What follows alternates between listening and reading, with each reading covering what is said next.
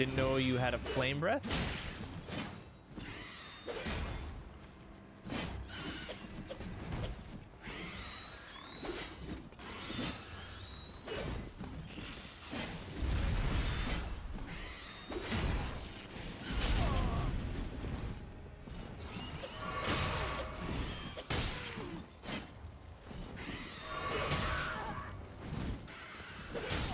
I